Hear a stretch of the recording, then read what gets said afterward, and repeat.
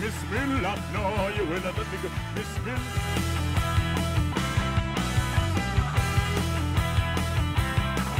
And that's why the vaxxers, the anti-vaxxers employed security.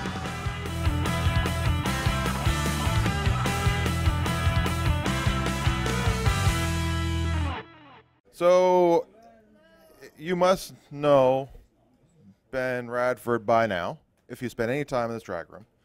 Who ha- who doesn't know Ben Radford? really? You in the back, see me later.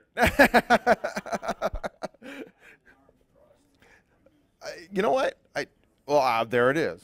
That, that's you're gonna talk about this. Uh, yeah, that's, that's today's stuff. Uh, the the haunt. Like I was just here. Well, you did a, your thing with your monster talk. I did my thing with Uh, my what? Your monster. Your monster. Yeah, that's right. you got that right, big boy. This is Go going ahead. a very very bad place. anyway, yeah, really. It's only going downhill. So Ben's going to give you a little talk about an investi- investi- investigation that he did. Side effects. but so I'll just give it to Ben because I'm making a mockery of myself right now. Okay. Yeah, I'm coming down here. So you said down there, up there. Yeah, okay. I'm done with you. Uh, yes, thank you all for coming out. Wow, a mostly packed crowd. Excellent. Uh, thanks all for coming out. Um, uh, just to, for those of you with a little, bit of a bio, I am managing editor of Skeptical Inquirer Science Magazine. I'm also a research fellow with the Committee for Skeptical Inquiry, which is a nonprofit educational organization uh, based in Buffalo, New York. Um, and uh, I, in addition to my editing and various other tasks, I also investigate weirdness. Uh, all manner of weirdness. I have a, a new book called Scientific Paranormal Investigation. Uh, there's a couple copies left around here. I also, I don't know if you, you, you see my chupacabra talk yesterday? Handful? Okay, chupacabra. Yeah, I also investigated the chupacabra. Um, and um, uh, so I'm to today I'm going to be uh, focusing specifically on ghosts and ghost investigations. I've been on a handful of ghost uh, TV shows. I've been on probably a dozen or more um, of, of various types, cryptozoological, whatever else. I'm going to focus on a TV show called um, Mystery Quest.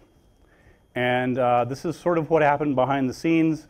Uh, I, I wish I actually have the I have the, the, the final edited version of it. Unfortunately, we don't have time. Ideally, I would tell you what happened and then sort of give you the behind the scenes and then and here's how it ended up cut. Uh, unfortunately, we don't have two hours, but that would actually be the, the most informative section. So I'll go ahead and and, um, and talk. This is about uh, let's see, investigating haunted Wolfe Manor. Uh, this uh, investigation um, came my way because a TV producer called me up. There's Wolfe Manor there. Uh, the, the, there's a key light right there. Was, tells you that it was set up for, uh, for the videographers to do their, do their gig. And I got a call um, from a producer who said, uh, hey, we need you to come out and do an investigation. And I said, okay. Uh, and I said, um, I'm the token skeptic, aren't I? Yeah. Yeah, you, you are the token skeptic. Uh, he says, We're going to be pairing you up with a demonologist.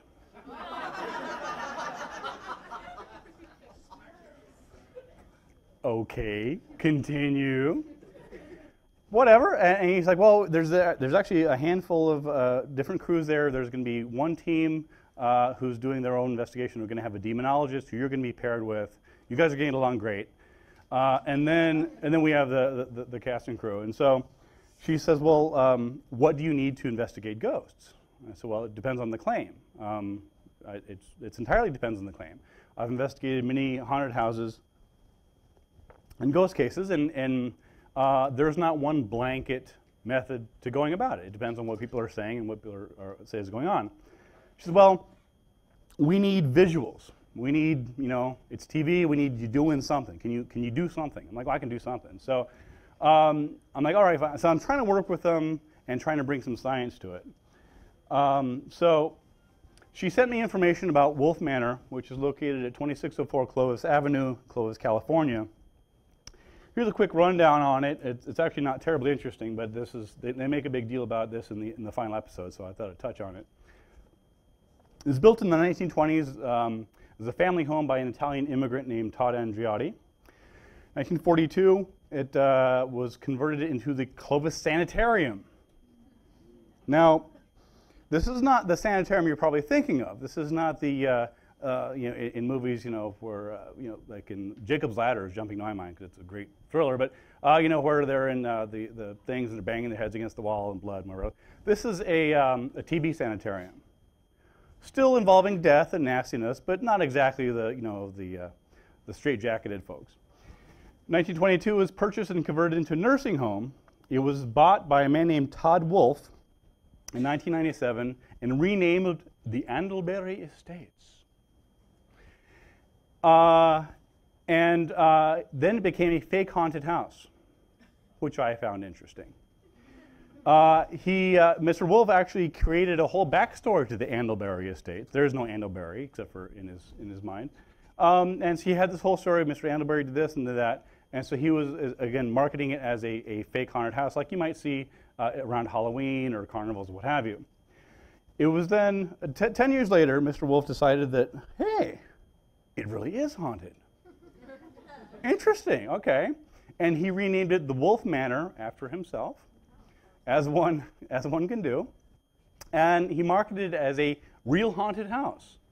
So it went from a fake haunted house to a real haunted house and in 2008, TAPS and the Ghost Hunters guys went over there after apparently some significant lobbying. Uh, it was interesting hearing Mr. Wolfe talk about his, he and his assistants writing a bunch of letters to the TAPS guys asking them to please come out and give, give, his, uh, give his place some publicity. Um, there's the house there. Um, the, there's Porta Johns in the back, not quite as spooky. Like when you see it on TV, it's all lit up from the bottom, like Amityville. Uh, it wasn't quite that scary. Um, there's Todd Wolfe taping his hero shot. Uh, so for those of you who don't know a hero shot, it's a in, in documentary film film it's, it's where you know the, the, the, crew shows up and they do this, you know, or you know, you know the, the, the hero thing when they introduce him, they pan up and do all that. So that's that's what he's doing there, introducing himself. And uh, so again, he's he's sort of running the whole show and, and trying to cooperate as much as he can with the TV crew and, and me in tow. Um, here's what the house looks like. The, uh, no, that's not real blood. That is, that is red paint. Those are, those are not real cobwebs. Those are fake cobwebs. Uh, that is a real deer's head, which kind of creeped me out. Uh, and um, there's a fireplace, and, and it, I have to say the, the whole place is really it's, it's, it's dilapidated. I mean, it's, you know, it's, an old, it's an old building, not well taken care of. This is what it looks like from the top of the stairs. Over on this side over here um, is uh, is what's called uh, Annie's room, or Mary's room. Uh, Mary's room. Mary and Annie seem to be really popular names for female ghosts, uh, FYI. But anyway, someone's that's her room, and there's it's interesting. There, there's a whole bunch of different levels. It's it's not labyrinthian. I mean, there there aren't you know it's not like you know the Shining house, but it is it is kind of weird, creepy, and, and, and, and run down. And of course, this was a great place to you know do a, a haunting investigation. So I began my invest. I actually, I should point out, I only had um, about three or four days to prepare for this investigation. She's like, "Yeah, can you can you come out like on Tuesday?" Like, well, I guess uh, it's it's Friday. Uh, I mean, okay. So she sent me some stuff, and I did some, some investigation, trying to get, trying to establish the the background of the case. That's that's what you have to do to figure out what's going on. So I began by researching a report um, by a psychic named Virginia Marco. Uh, she said, I saw a male ghost in the living room. He does not speak. He observes and follows us around. On one table, George uh, saw a photo, a picture of a man and a woman in their 60s. George said, Virginia, look at this picture. Who do you think they were? It was the male ghost in the living room. I would have loved to see this picture. Of course, she didn't provide that. Uh, in the kitchen, I saw three ghosts Bertha, Paul, uh, and uh, another one who didn't speak. Apparently, um, the ghost identified badges, or I don't know quite what happened. Uh, my name is Bertha. This is Paul. The other one doesn't talk. Um, the last ghost looked anorexic. Apparently, anorexia uh, is, continues uh, through the afterlife. In the, in the cooking area, I saw a male ghost. He was overweight and tall. His name was William. He was the cook, 65 years old. Did he really say he was 65? I mean, does it, does like you know tap if it's one, two, three, four. I, mean, I just I mean I'm not trying to make fun. I, I'm sincerely curious as to how this information came through. Uh, follows around the house. He's very active in haunting the place. And here's the most important part. On the second floor, I saw the ghost of an old woman named Mary sitting in a rocking chair. Ghosts love rocking chairs, don't they? And old Indian burial grounds. Mary told me she was very unhappy because the chair was not supposed to be there in the hallway later that day. Dee Dee moved the chair uh, to the next room to close the window. Jose took a photo, uh, took a picture, and the body of Mary appeared at the window. She told me that she was now happy because she could see again. That is, Mary's favorite rocking chair is next to a window. Uh, Mary or Jose or William or Bertha, I don't know, someone moved her chair, uh, and she was upset about this because she could no longer sit in, in a rocking chair to look out the window. Now, I find it a bit odd because it seems to me that you could look out, the, if you're a ghost, you don't need to really be in the chair. I mean, I guess you could say the ghost is linked to the chair. I mean, that, uh, fine. I mean, but, but some of it just isn't really quite making sense to me. Here's an investigation by American Paranormal Investigations. Um, recorded events, if you move her chair to a different location, she will move it back. Interesting. Also testable. Each person reported a feeling of being watched. The team was exhausted, and uh, the video cameras were unable to photograph because of constant battery drain. Now, this is also a, a hallmark of, of, many ghost reports that, that, uh, that batteries in everything from cell phones to cameras mysteriously drain uh, at haunted premises. So that's, that's kind of par for the course. Um, and says, uh, oh, here, here's, a, here's a narrative. Anne was giving a dowsing rod demonstration in the living room. Now, again, I have a problem with just, you know, anyway, I'll move on. After the dowsing rod demonstration in the living room, all three present heard the metal kitchen doorknob turn once and then back again. Anne stopped and went to inspect the doorknob. However, upon walking to the door, there was no doorknob. there was no doorknob. Now, uh, honestly, I'm not, I, you know, could it be that, that the sound you heard wasn't a doorknob? It sounded like a doorknob, and then because you think it's a doorknob, you go, there's no doorknob, and it's really freaking you out? I don't know, but apparently that was very significant to them, so I made a note. Main claims Mary the ghost opens and shuts doors. Batteries are mysteriously drained of power in the house. There's a ghost photo in the kitchen, which I will touch on later. Hell is unleashed if Mary's room is disturbed. Now, as a scientific paranormal investigator who likes to look at these things scientifically and, and, and examine falsifiable claims, that is, claims which can be proven true or false, I love claims like this. Because if this is true, then hell will be unleashed. I don't know what that means. Uh, another, another four years of Bush. I don't know what that means. but something bad, something evil will, will fall upon our world if Mary's room is, um, is disturbed. I don't know. But again, love these sorts of claims. We can test these. And there's also some EVPs and ghost voices were, were recorded. So the producer's talking to me. She's like, well, I, I, flew in, the, the PA came and picked me up, and we went there, and I stopped and got some, got some supplies.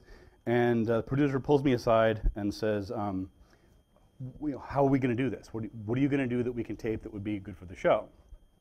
And, and I'd given that some thought on the plane over. I made a, I made a quick list of, of things that we could test. You know, the, again, they want, these are testable claims. Uh, my suggestion is that we move the objects in Mary's room and see if hell is breaking loose or not. Um, again, I, I, don't make these claims. I work from the claims. This is what they say. I'm I'm not making this up. This is what they said. If they're wrong, then that's not my problem. Um, she's like, good, we, we can do that. You know, we can move objects. You know, the producer says that's, that's fine. Shouldn't be, shouldn't be an issue there. We can set up a camera crew there. I said, well, how about we look at the unexplained battery drain? Again, either batteries uh, in a haunted location are drained or they are not drained. It's one of the two. This isn't a matter of opinion. This is a testable thing that we can find. That's good. We can, that's fine. You know, we can test the batteries, buy new batteries, no problem at all. Um, and then, then came the EVPs. And do all you know what EVPs are? It's basically electronic voice phenomena. It's, it's, the, it's the idea that if you record something in a quiet room or an area where there's no one around, uh, you listen to minutes, hours, days, whatever, and you go back and you listen to them. If you tweak them, you listen very closely, that you may hear uh, sounds or voices or something else like that. And um, having done this, the, this research for quite a while and also having a background in psychology, I'm kind of familiar with some of the ways in which we can, our minds can basically interpret uh, meaning into uh, basically random phenomena. You know, if you hear someone say, did you hear that? Yeah, it sounded like, you know, Bob is dead or something. um, and so in order to test this, before I left for the shoot, I spent about an hour getting samples of EVPs from supposedly actual, legitimate, reputable ghost hunters. I downloaded them and I listened to them, and I wanted to test whether the, the people that were making these claims could, in fact, distinguish uh, you know, actual sounds and words from, from randomness or not. And so what I did was uh, I made a list, and so, for example, I would listen to it and I saw what they said it was. Like, you know, Mary is here. Mary is here. Did you hear this? Mary is here. Or is it Mary wants a beer?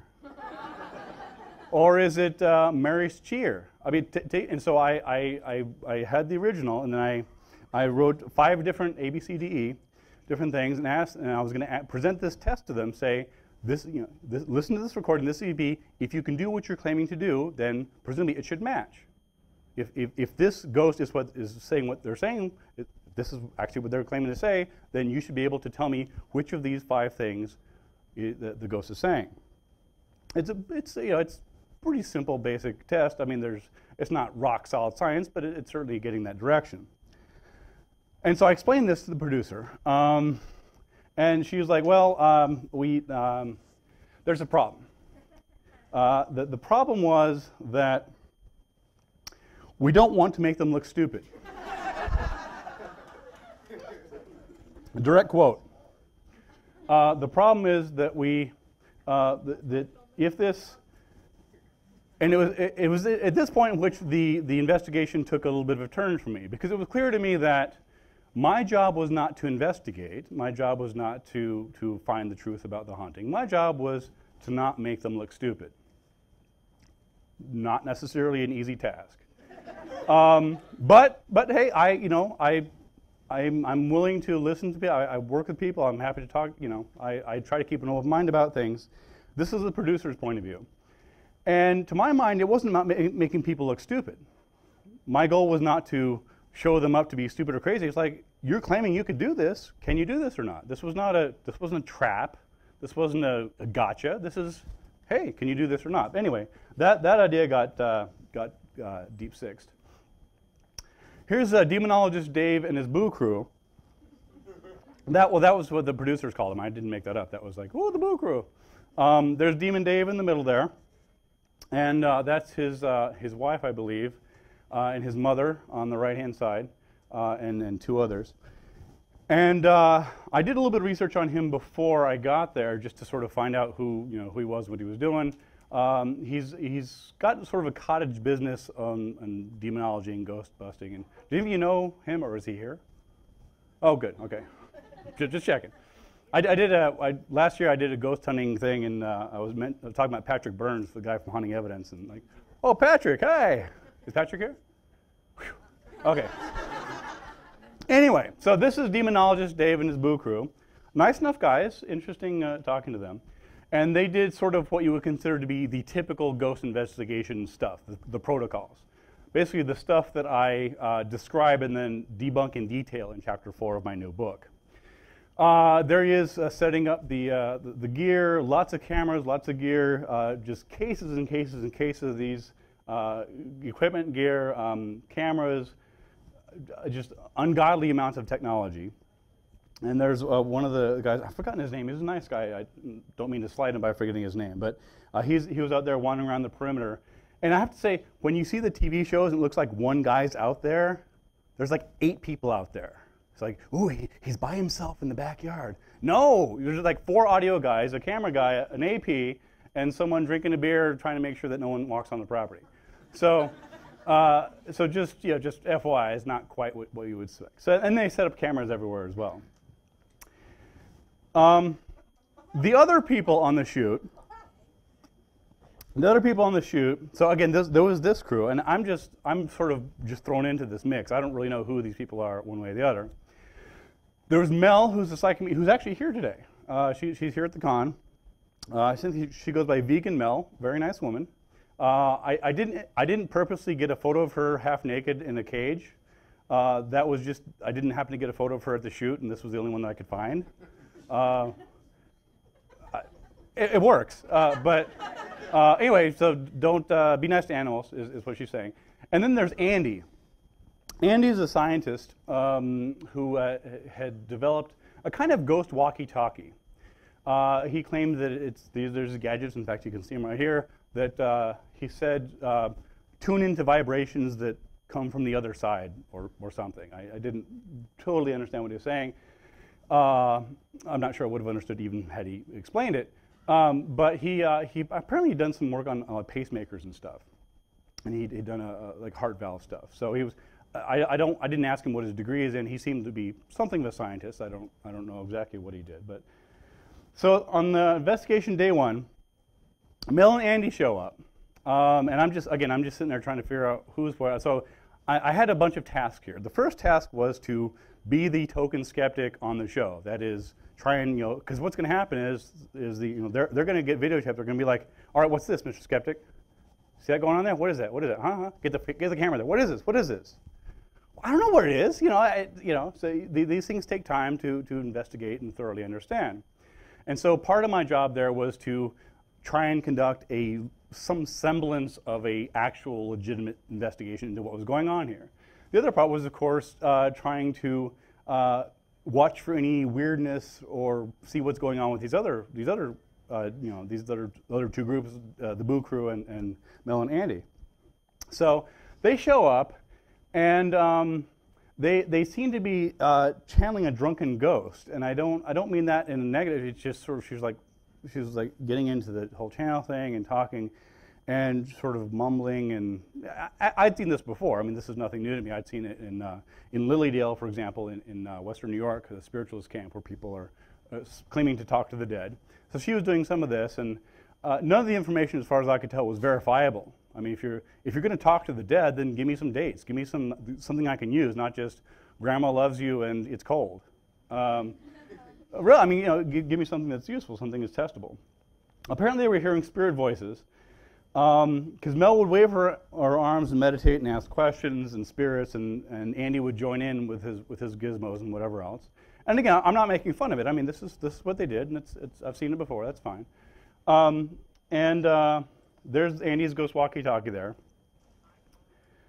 iPhone, yeah, there you go. Um, uh, the Boo Crew, anyway, it was actually odd because at first I thought they were all together. I sort of thought that Mel and Andy, the Boo Crew, they were all one collective group. Well, it turns out they were two very, very different groups that didn't like each other.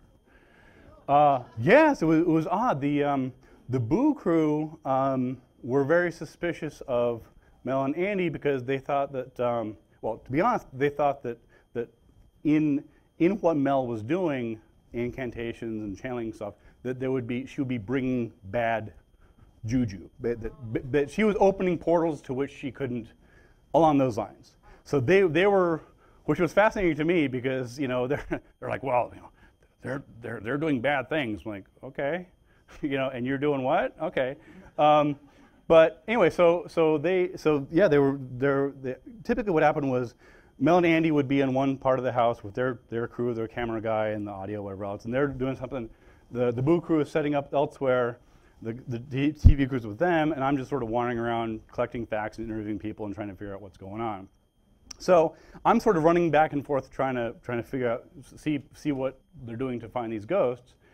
Nothing, by the way, that I would have done when I find ghosts, when I, when I, when I, well, when I search for ghosts and do investigations, uh, the, nothing that they did investigation-wise resembles anything that I would have done, and I'll talk about that later. So the Demon, uh, Demon Dave and his Boo crew were, uh, they were praying, uh, rosary thing, um, uh, holding hands, this and that. Again, things that I don't normally do when I conduct a scientific investigation, but whatever. Uh, and they did provocations. Uh, they weren't getting any results, and so they were concerned. They were up, I wasn't upset, but they were getting annoyed because the, the ghost or whatever was in the house was said to be in the house uh, weren't weren't showing up. They weren't, you know, showing up as swarms of locusts, or I don't know what they thought was going to happen. But so uh, they they did provocation. They they yelled at a wall and uh, tossed holy water on it, and they found nothing until they pulled out the big guns. That's when they pulled out the FLIR guns, the forward-looking infrared radar there.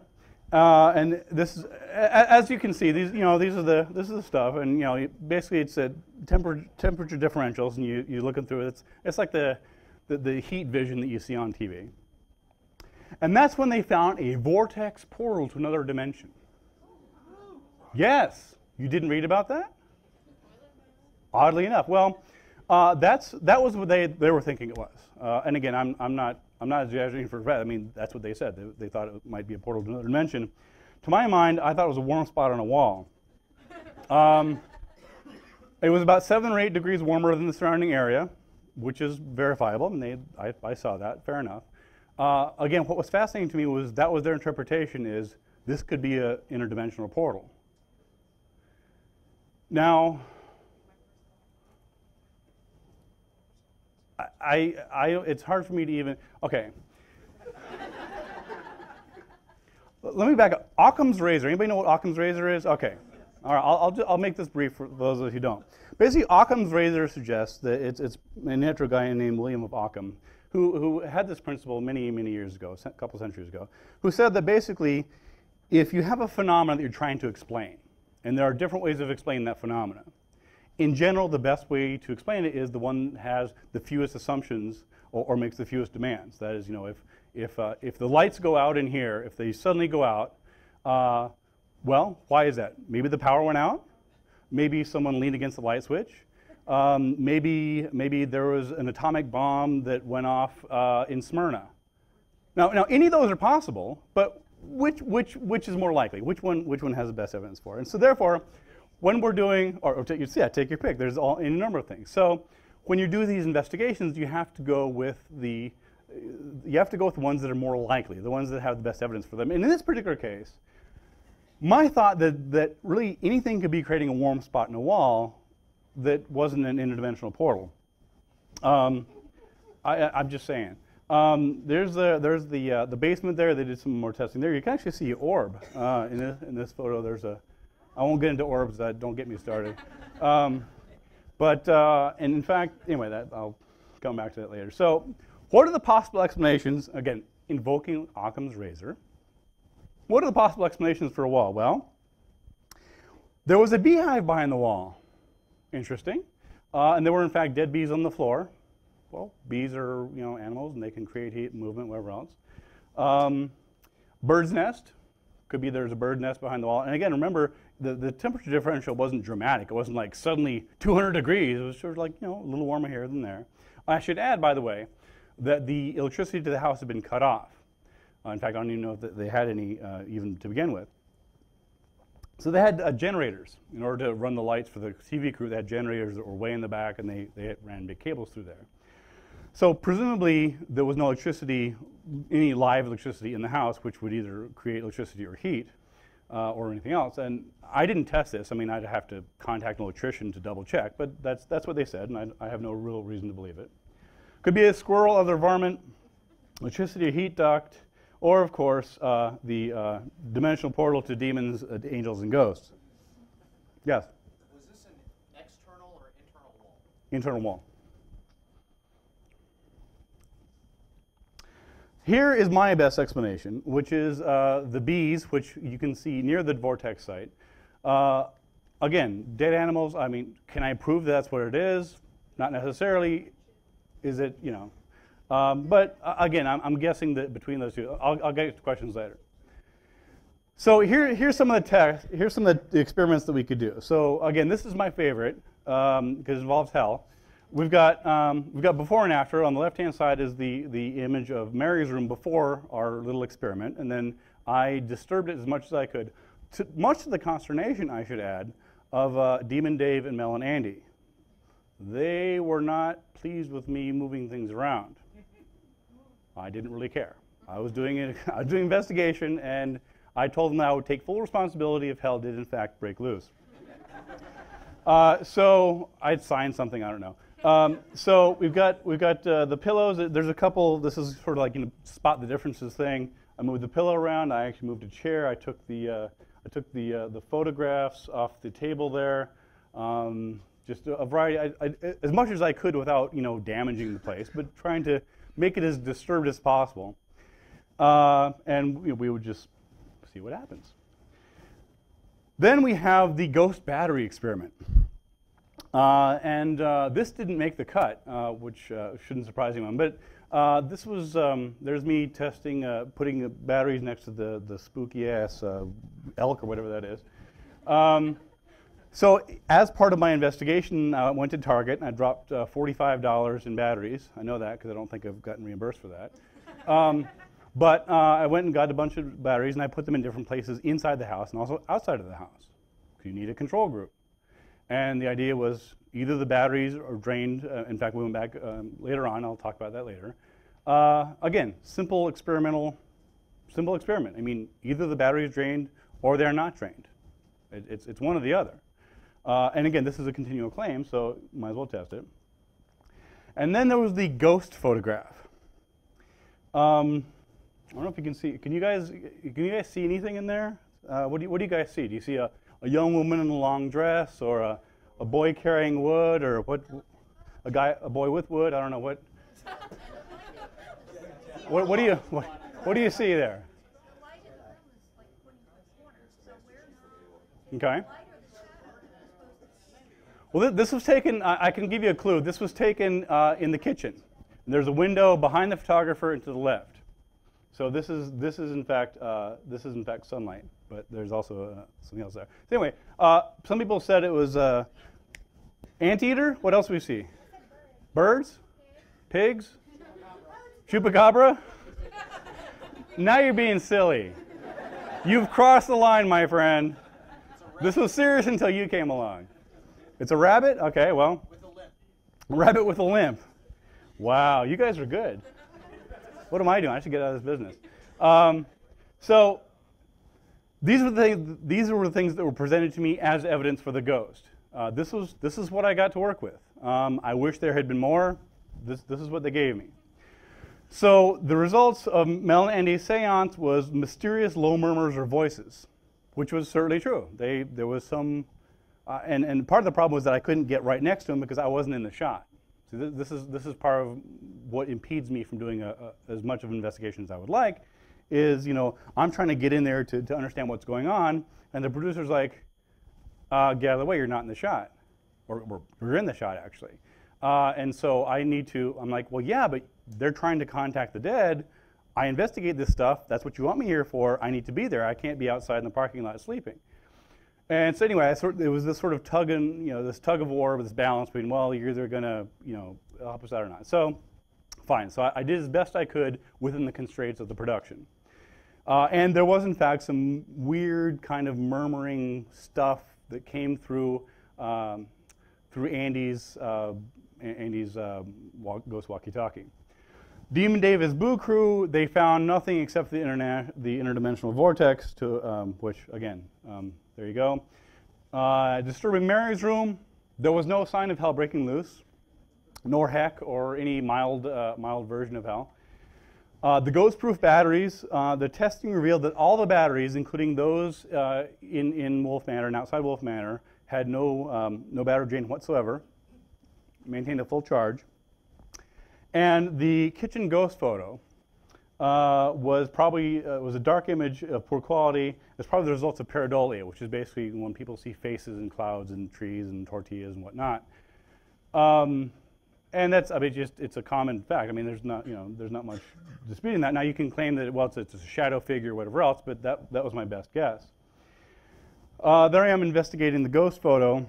Uh, again, the, the, results of which were completely edited out of the. Uh, in fact, that's a, uh, an audio tech guy that was helping me do some of the investigation because he was.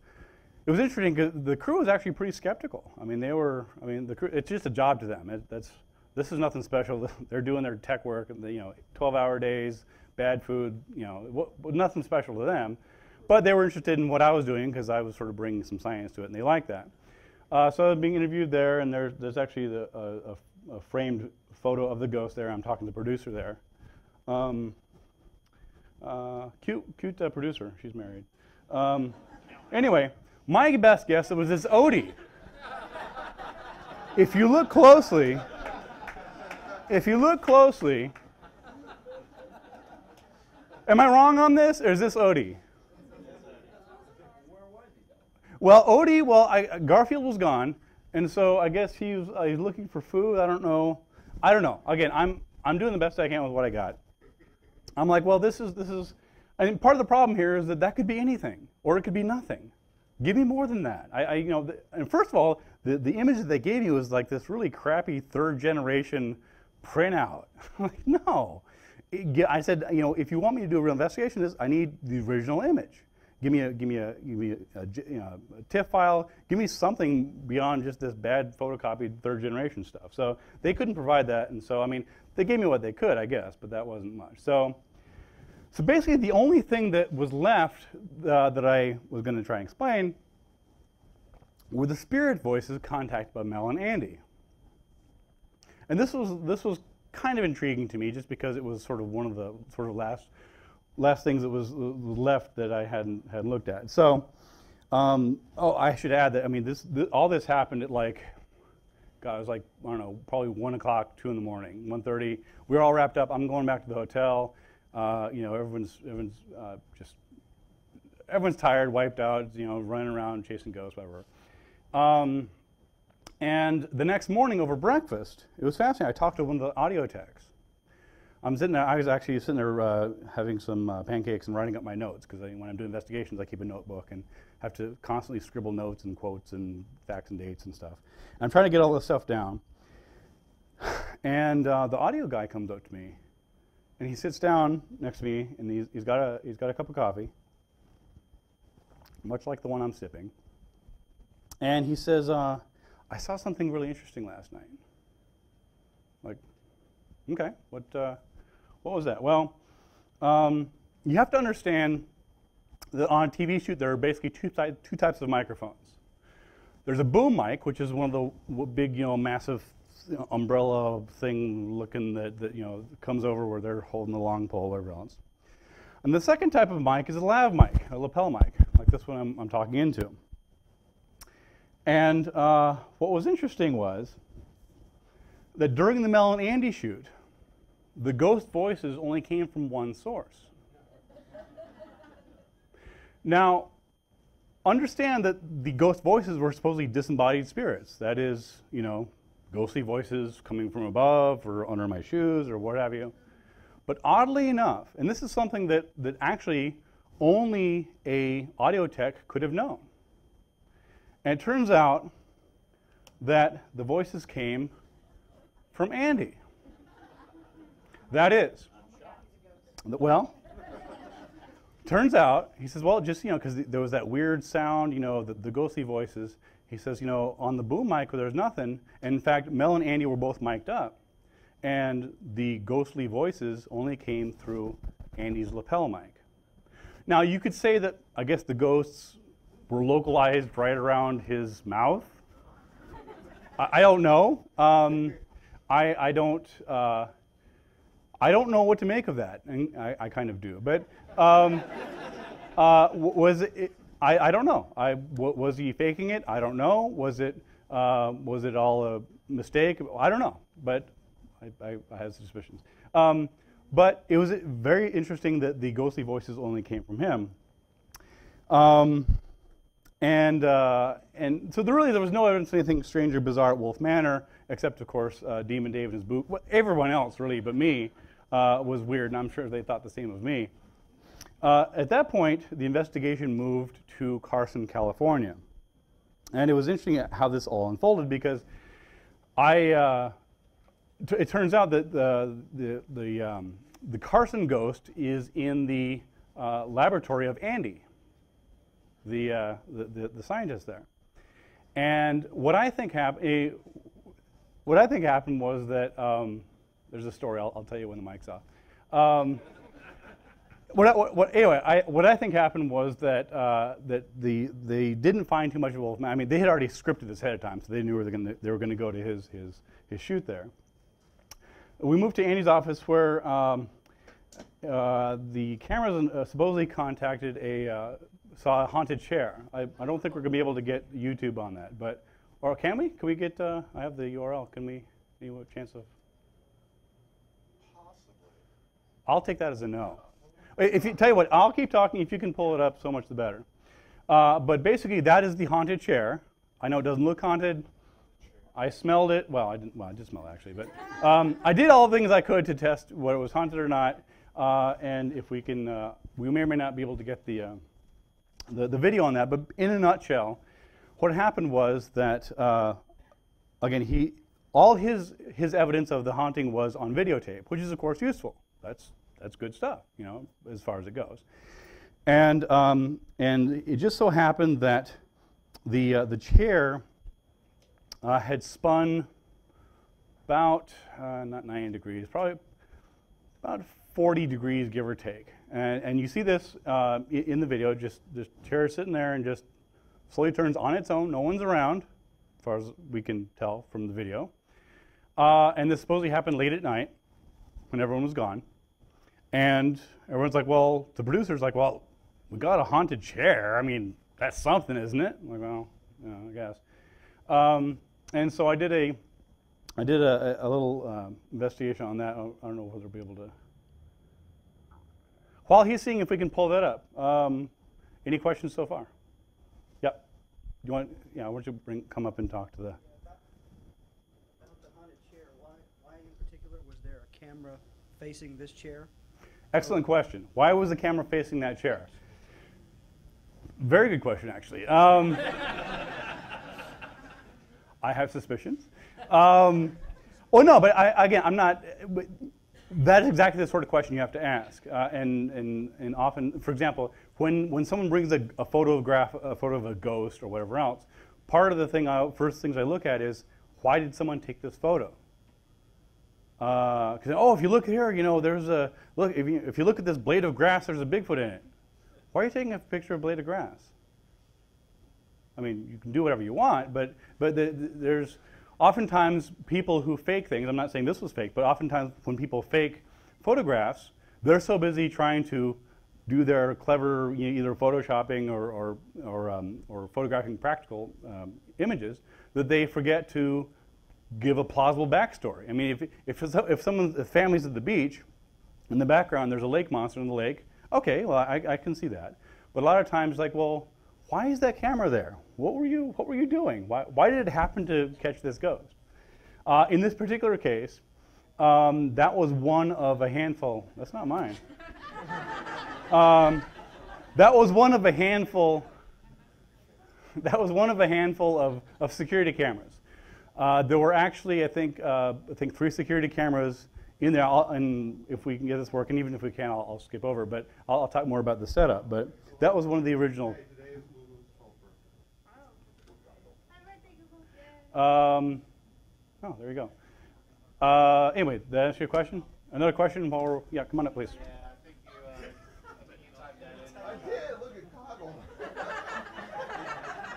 Oh God. You know what? Uh, let's just go back. This is this is not worth it. But, Okay, we got a question here. but could you could you fully explain why these vortexes killed bees?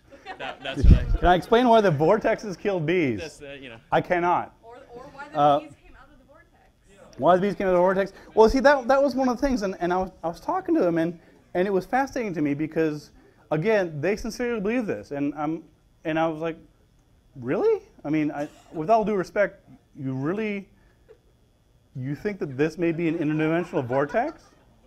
Um, um, and what was odd was that at the end of the, just, just go back to where we were. This is, I figured out why. I just Yeah. skip it. Um, but no, but but that, that was in fact it, the, the same issue came up with um, with all the gear, um, because what would happen was that um, I talked to to one of the guys from the Boo Crew, and when when the producers were taking us back and forth to the hotel, and I just sort of passing the time, I asked him, I said, I said, why do you think it is, because I'm, I'm genuinely curious, why do you think it is that, thanks Derek, why do you think it is that after so much time and so many investigations, so many people, amateur ghost hunters, whatever else, trying to find ghosts, the evidence is, is just not there? And he, and he admitted, it. he's like, yeah, yeah, there's still no good scientific evidence. And I said, why do you think that is? I'm really genuinely curious to know. And he said, well, I think the problem is that, uh, that, that science can't prove ghosts. That the gear and you know that, the technology, the ghosts are unexplainable by, by there, there's really nothing that, that, that, that our current science can, can use to, to investigate ghosts. I said, well, well, hold on here.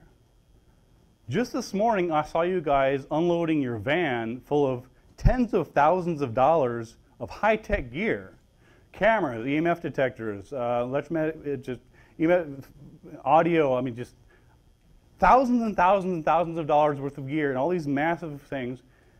What's all that for? I mean, if, if, you're telling, if you're sincerely telling me that, that none of this stuff can detect ghosts because it's beyond science, what's all this stuff for? If that's really what you believe. And it was odd because no one had ever asked him that before. I mean, I mean he just, he just, he didn't know. Um, and it, uh, you know, it wasn't a gotcha question. I think it's a legitimate question. If, you, if you're going to say that that's, that is the reason why we still don't have good evidence, then why are you bringing all this gear out if you, if you think it's, it's ultimately futile anyway? Anyway, the, the haunted chair, um, it, it uh, basically, I'll just sort of touch on it. It went from that position all the way around. In fact, I'll, I'll show you the, you know, the haunted chair. And then there was also the wall falling down. And this is a little partition here. This is a, this is a different camera. This is actually, well, it's a different camera mounted in the same general area. That's the chair there, actually, there. And what had happened was there's stairs going down. It's a sort of elevated thing. And this uh, partition went over, fell over on its own. Bam! Just like that. And you can, you can hear it in the, in the video. And feel free to write down the URL. You can, you can check it out. So um, I reviewed the, and, the, the, stuff with Andy and the wall and mounting. And, uh, and actually, to their credit, uh, in the final version of this episode, the way it was cut, they actually did a pretty good job of representing my investigation into the chair and the wall. So if you, if you happen to uh, come across a copy of uh, the uh, mystery quest that I'm on with the Andlebury Estates, um, they, you know, they cut out a lot of my investigation, but to their credit, they, they, did, uh, they did a good clip of me. Uh, not, not me, but just in terms of you know, doing the investigation there. So there I am looking at the, the haunted wall. Again, this is the partition. It come over, fallen down. So I'm trying to figure out what made the wall fall down. Well, I noticed a couple things. Um, first of all, the, the, the, uh, it was mounted, it was actually a, a, leftover from like a, an office, you know, like the partitions you see in like cubicles. Uh, and that, that's what it was. And so uh, I noticed the screws were, were, not mounted very well, nor, nor in there very deep. And I noticed that not only were they not anchored very well, but also the, um, it was off kilter. It was unbalanced actually in two, in, two, in two dimensions because this is one side of it and this is the other side of it. And so not only was it not flush, it actually wouldn't stand up its own. You actually had to push against it to keep it up, but it wasn't even level. It was like that. So it was, it was it was unstable in, on several axes. Um, so I concluded that it was not a ghost, but material fatigue. That is, uh, this had been screwed into drywall, not very far in, and eventually the drywall gives out. It's, it's, it's not anchored well. It's just basically gypsum. Uh, there's no real, real, uh, real mystery to it. It couldn't sit flush with the wall. And interestingly enough, when I was investigating the, the, the falling partition, on the, uh, on the original tape, you can actually hear a thud or a crash or something. It, it's, it's, it's, it's faint, but you can hear it. And, and this, this reminded me that when you're doing investigations, you need to look at all the evidence. You can't just look at the videotape. If you can get, obviously the, the best thing is, the, is get the original, don't get some third-hand generation. Go to the original material. In this particular case, there was a loud sound, a door slamming or something, that, that uh, just happened to have just before the wall suddenly fell over. And what I suspect was that in the back of the, um, in the, in the back of Andy's office there, there are trucks. Uh, there's trucks coming and going. It's an industrial area. I think a truck just backed up and slammed a door down or was getting the garbage or whatever, and I think that that was just enough vibration to make it fall over. then we have the haunted chair. Um, that is the haunted chair, and uh, I basically I carefully reviewed the video a dozen times and the conditions surrounding the chair. And that was the original chair. I got the same chair and duplicated it as best I could. And so I, uh, I wanted to see what happened here. How is it, is it you know was it possible that uh, that cars from the freeway were making vibrations that could have moved the chair? Well, as it turned out, no, that, that didn't really make sense. So I measured the chair's rate and angle of movement. So that's, uh, that's where it was before it moved, that's where it was after it moved. And, and, the, and again, the, the camera would be from the top, uh, looking, looking that way. So it, moved, it moved with the back towards the camera. Um, and I don't have the video, so uh, I will, I'll just basically tell you what happened. Um, yes, well, I'll get back to that. So what happened was that uh, I, I, for the TV crew, I had showed that in fact, if you look at the, uh, if you look at the video, the chair moved just enough. It didn't go all the way around in a circle, which would have been interesting. In fact, uh, it, it, it went from, well, if I had a swivel chair, I'll show you, but it basically went from, let's say, Der- Derek, raise your hand for a second. Okay, pretend you have, um, I don't know, a fishing wire in your hand, fishing line. Thank you. Okay, so, so I'm the chair. Okay, no, no, pull slightly. There we go. See, just did like that. And the, the chair moved just enough. Uh, it didn't, again, didn't go all around, didn't jump in the air. It just, th- this, just enough that would have accounted for, for, for the movement. So I recreated this for the video crew, and they were, they were actually, you know, it was kind of hard on me because I'm, I'm, you know, all this taping is going on in one night, and I'm trying to sort of come up with an experiment on the fly and do all this. And, and in the end, it actually duplicated it exactly. I mean, the same rate of movement, the same angle, whatever else. Uh, so that, uh, and, and then at this point, uh, I was then asked to explain this uh, to Andy. Uh, so I had to, um, I was like, well, how do I, because I don't want to insult him by suggesting that it might have been a hoax. So I said, well, uh, my guess is that, that, that, you know, maybe it was a ghost, maybe it wasn't a ghost. I can tell you that I can exactly duplicate what is seen on the video. And furthermore, the, the angle from where it's photographed, you can't see anything else. I mean, that, that, that's, that's it. I mean, that's, it just swivels around, you just have that, that field of view. So what I did was, I, uh, I said, well, Andy, um, I think someone's playing a trick on you. I said, uh, I suspect I, maybe one of your employees is playing a gag or a hoax. I don't know, but all I know is that, um, that I, I see nothing uh, suspicious here. So there was a second ghost stakeout. I'll, I'll spare you the, uh, the details on that, but it was basically uh, the ghost ventriloquism hour and the uh, Demon Dave and his boo crew scared himself shitless review. Um, so in a nutshell, I did not find any evidence of evil, uh, demons, ghosts. Um, uh, so nothing, nothing quite like that. I did find uh, people who sincerely believe that ghosts are behind every door. People who will fake ghost evidence, and you know, again, maybe some people are the victims of hoaxers. Some people are, are, are the, the are the hoaxers themselves. But there was certainly some evidence of, of some tampering going on there, and of course some insight into the conflicting motives of a TV crew. So with that, and with the remaining seven minutes and 40 seconds, uh, I will happily entertain comments, questions, criticisms, uh, money, uh, whatever, whatever you want to throw my way.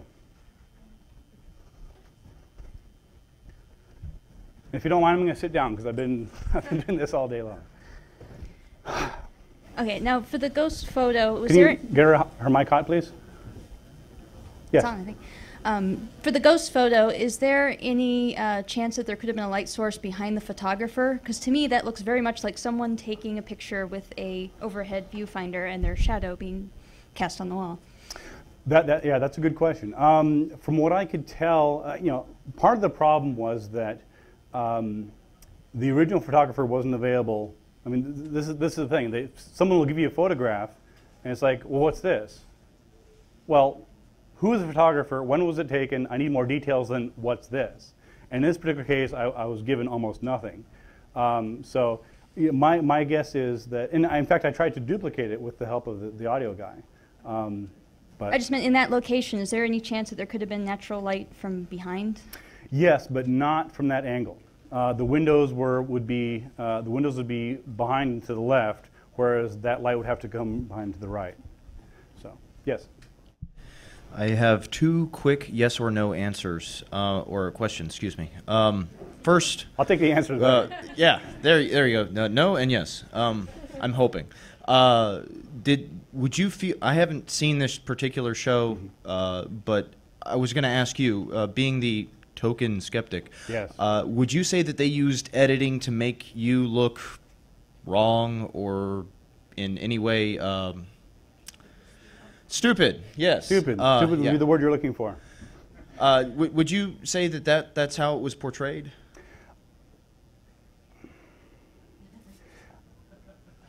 Well, I, I would say that um, I would say that the editors and producers were more interested in making entertaining television than shedding light on whether the place was haunted or not. Uh, I, I, again, I mean, they, that's the problem with doing these shows is that they can cut it however they want. They can cut you out completely. They can make you look an idiot. Uh, they can catch you when you're, you know, picking your nose or whatever. I mean, th- there's all sorts of ways they can make you look bad. I don't think they went out of their way to look, make me look bad. And they, you know, again, in the final show, they, they gave a fair representation of my explaining the, the moving chair and, and the falling thing. So I give them credit for that. At the same time, they, they completely cut out any mention of the ghost photo, the drained batteries. Uh, so those things which were, to my mind, important to recognize in terms of how to investigate ghosts were left on the cutting room floor. Um, I, I've been on shows that uh, are, are definitely, um, I don't want to say they're out to get you, but usually when I talk to the producers, I say, look, you know, if you're, if you're, if you want me on your show, are you going to bring good science to it? Because if not, then I'm not interested. Um, I mean, to be honest with you, the novelty of being on TV wore off a long time ago. And if you're not going to bring some science and skepticism to it, then call someone else. I, I'm not going to waste my time. So usually I I get some sense of, I, I kind of, I guess what I'm saying is that I tend to filter them before I, I get a sense of whether they're going to be fair to me or fair to the token skeptic before I get on. So The the second question was, uh, did you get the producer's phone number? I did not. She was married. Damn. I no, I That's a didn't. good though. point. Uh, I just have one quick question. Um, so obviously, you know, you're filming this sort of thing. You've got a bunch of people around. Like, Mm-hmm. it's very evident that you know there's a lot of people. There's a lot of noise. There's a lot of stuff going on. But like, have you ever been on a scene for something like this and had anything weird happen that you couldn't explain, or just been talking about this sort of thing? You get the overactive ima- imagination going on and just freaked yourself out, like, or does that just not happen to you? Well, it doesn't really happen to me, and it certainly doesn't happen on TV shoots. The thing you have to understand about TV shoots is they are long, boring productions. These things go on for 12, 14 hours. Uh, you know, there's actually union things where they, you know, they, they, they got them booked for 12 hours, and after 12 hours and one minute, they're paying them, you know, $8,000 a minute. So these are long shoots. These are, I, I I actually just got back uh, last week from a, from a uh, shoot on uh, Miracle Detectives. It's a new show. Um, it hasn't aired yet. It'll be on Oprah's network. Uh, I was doing an investigation to uh, miracles in, um, in, uh, in Cleveland, Ohio. So I was out there looking at angel photographs, whatever else. And so, you know, again, it's on, on the shoots themselves, no. It's, it's boring, mundane, um, you know, walk this way, hold it, we didn't get it, there's a plane in the way, do it again. So, Yeah. but not, Okay. I have a question about your investigations. What boggles me a lot about um, these TV shows and uh, amateur ghost hunter groups Mhm. is uh, when it comes to electronics and the understanding of how, I guess, EMF fields work and the d- uh, devices they use for that, because EMF detectors were used just to test faulty electrical systems. And my big question is, uh, when you go on investigations, do you pull like an EE engineer with you just to say, oh, well, this is faulty wiring. We're in an old house that doesn't have shielded wiring. Um, I, I don't because uh, because really my investigation stems from the claims. I uh, you know in order in order for me to investigate a haunting or, or really anything else, I work from the claims. So what are you presenting me with? So for example, if if someone is say, is saying that there's cold spots in a room or you know or you know uh, you know a demonic face and something else, unless I know that that has some some tenable connection to uh, elect- electricity, then I, I wouldn't bother with it. So in my case, no. Hi. Um, in the case of paranormal investigative groups, do you find that ghost hunters would be, and I'm talking about the show more like you as far as being skeptics investigating uh, claims? Well, they certainly claim to use science. Um, uh, I, I mentioned that I, basically all of chapter four in my book is, is Okay. sort of ex- explaining how the t- they typically do it, and then why, in fact, that's not a that's not about. I mean, a lot. This is part of the problem is that anybody can claim to be a scientist or a skeptic or whatever else. My question is is what, what are the results? And in most of the cases I investigate, uh, the answers are clear. I mean, I, I solved, you know, the, the case of the Santa Fe Courthouse ghost, um, you know, uh, Ogopogo. I mean, there's, there's lots of cases that, that end up getting solved, whereas if you look at the majority of, of less scientific ghost hunting groups, the, the end result of their investigation is, well, I don't know, we, we got a couple weird things and we'll never know. Right. So to my mind, part of, part of that answer is, what are the results? Are you getting something real? Are you getting an answer, or is it just left as a question mark? Thank I'll you. take one more quick question if it's fast. Good, thank you. Hello. Uh, this is in reference to the Wolfe Manor or any named ghost Mhm. episodes. Does do you or does someone on the production staff do research as far as title searches, birth certificates, death certificates to de- see was there someone named Mary living in the room, William the I, cook? I don't, a- and and mostly because uh, unless again there's some specific claim to it, um, it, it you know, it, it if the claim has to do with Mary, then then I'll look into it. But otherwise, knowing who died there in 1938, or, or if some old lady, I mean, there's you know, probably women named Mary have died in this hotel. Does that mean it's haunted? No. So you have to go with the claims. But thank you all for coming out. I appreciate your talking to me, and listening to me, and